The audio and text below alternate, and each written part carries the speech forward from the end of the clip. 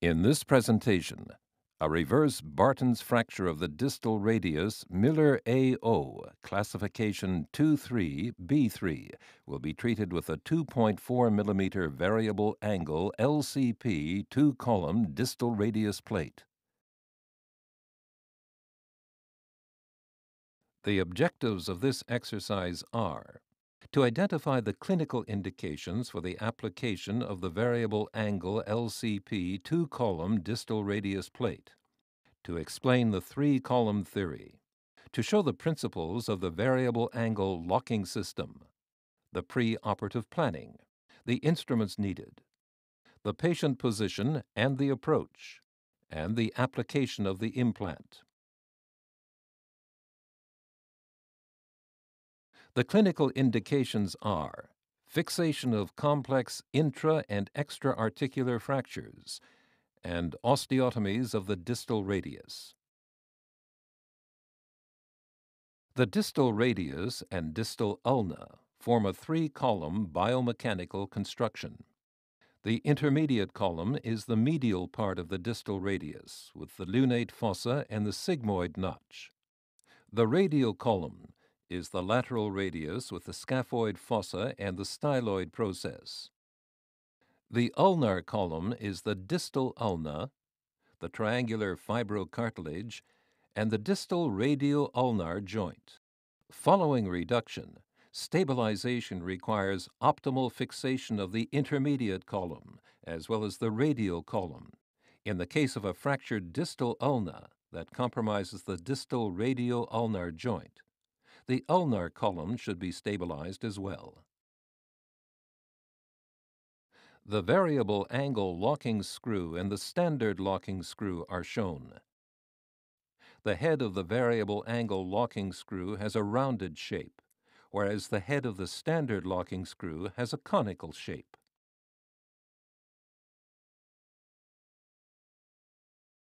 The new design of the plate hole in the head of the plate allows the variable angle locking screw to be inserted up to 15 degrees off axis in all directions.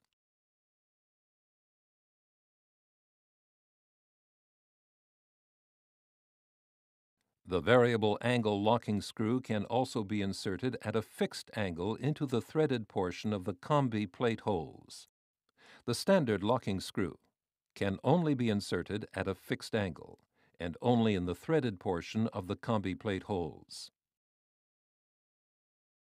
To drill off-axis holes at the desired angle, the funnel-shaped end of the universal variable angle locking drill guide is used. The drill guide tip is inserted coaxially into the cloverleaf design of the plate hole. The tip of the drill guide must remain fully seated in the plate hole while drilling. The funnel of the drill guide allows the angle of the 1.8 mm drill bit to be varied as much as 30 degrees. The fixed angle end of the drill guide only allows the drill bit to follow the nominal trajectory of the locking hole. The plate is available in a left and right version. For the pre-operative planning, X-rays and CT scans of the injured hand are used to check the fracture pattern, dislocation of joints, and comminuted fracture zones. To better plan the restoration of the length, an X-ray of the uninjured wrist may be helpful. The instruments needed for this exercise include two soft tissue retractors, the 1.8 millimeter drill bit, the 2.4 millimeter universal drill guide, the 1.8 millimeter universal variable angle locking drill guide, the threaded LCP drill guide, and the depth gauge for 2 millimeter and 2.4 millimeter screws. To insert variable angle locking screws at a fixed angle, the 7-hole guide block with positioning screw and the 1.8 millimeter drill guide for the guide block can also be used. Also needed are the short T8 star drive screwdriver shaft and the 0.8 newton meter torque limiting attachment with handle.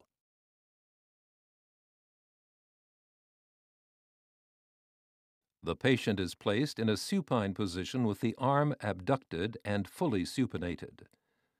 The C-arm must be placed to obtain adequate images when needed. The distal Henry approach is used on the model. A longitudinal incision is made slightly radial to the flexor carpi radialis tendon, or FCR. This point marks the height of the radius styloid as an indicator for the maximal distal end of the incision. The dissection is made between the FCR and the radial artery, exposing the pronator quadratus,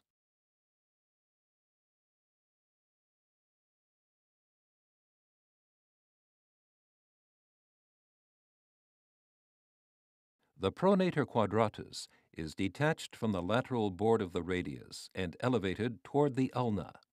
It is important to leave the volar wrist capsule intact to avoid devascularization of the fracture fragments and destabilization of the volar wrist ligament.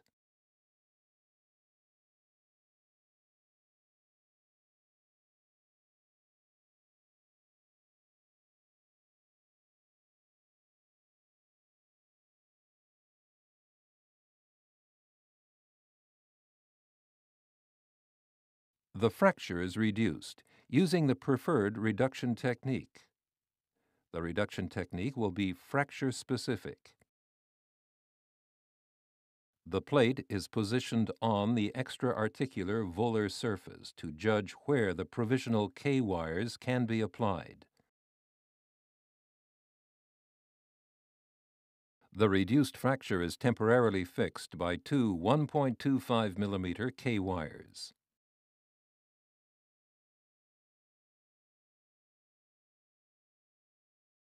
A K-wire is inserted through the intact wrist capsule into the radial carpal joint. The distal rim of the plate should lie approximately 5 millimeters proximal to the K-wire.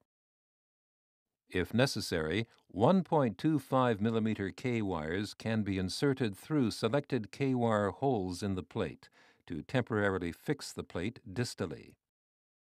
The first screw to be inserted is a Cortex screw applied through the elongated hole in the plate shaft. The 1.8 mm drill bit is used for a 2.4 mm locking or cortex screw. The 2 mm drill bit would be used for a 2.7 mm cortex screw. The order of screw insertion in the shaft and metaphysis may vary depending on the fracture pattern and reduction technique. The depth is measured with the depth gauge. A 2.4 millimeter Cortex screw is inserted. The plate position is adjusted if necessary, and the screw is tightened with the T8 star drive screwdriver. The plate position should be checked under image intensification. The K-wire identifying the joint is no longer required and is removed. To drill off-axis holes at the appropriate angle, the funnel-shaped end of the Universal Variable Angle Locking Drill Guide is used. The funnel of the drill guide allows the angle of the 1.8 mm drill bit to be varied as much as 30 degrees. The drill bit angle is verified under the image intensifier to ensure that the desired angle has been achieved. Care must be taken that the drill bit does not enter the radiocarpal joint, which would leave the screw in an intra-articular position. If necessary, re-drilling at a different angle and verification under image intensifier control are done. The depth is measured with the depth gauge. The appropriate length 2.4 mm variable angle locking screw is introduced using the 0.8 newton meter torque limiting attachment and the screwdriver shaft. To insert a variable angle locking screw at a fixed angle, the 1.8 millimeter drill bit is used with the fixed angle end of the drill guide. This end of the drill guide only allows the drill bit to follow the trajectory of the locking hole. The depth of the hole can be read directly from the marks on the drill and the scale on the drill guide. in this case 16 millimeters.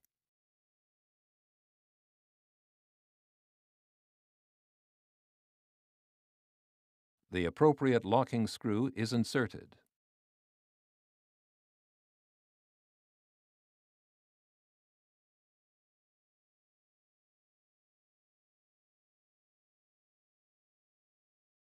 As an option, variable angle locking screws can be introduced at a fixed angle through the guide block, which is attached to the plate with the positioning screw.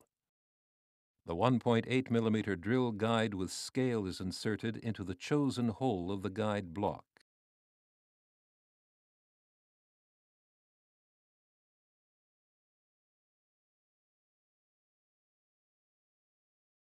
The depth can be read off the scale.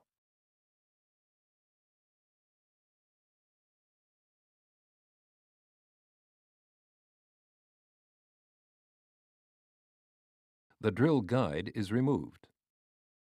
The appropriate locking screw is inserted.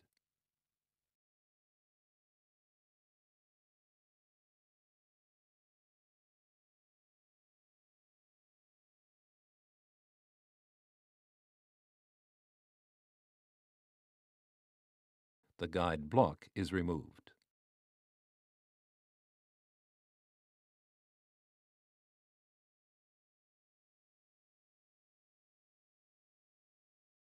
The remaining plate holes in the head of the plate are filled as necessary. The K-wires are now removed. The remaining plate holes in the shaft are filled with locking screws. If a short plate is used, a locking screw can be inserted into the threaded part of the elongated plate hole to achieve stronger fixation.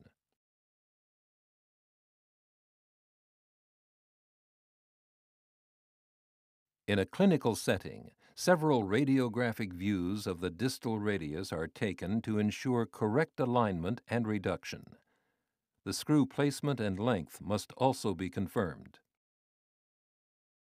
Additional views, such as 10 degrees dorsally tilted, 20 degrees inclined lateral, and 45 degrees pronated oblique, ensure that the distal screws are not in the joint. The one-year follow-up x-rays show anatomical consolidation of the fracture. The patient is pain-free and has symmetrical motion of the wrist in all planes. This presentation has demonstrated the clinical indications for the variable angle LCP two-column distal radius plate the three-column theory, the principles of the variable angle locking system, the preoperative planning, the instruments needed, the patient position and the approach, and the application of the implant.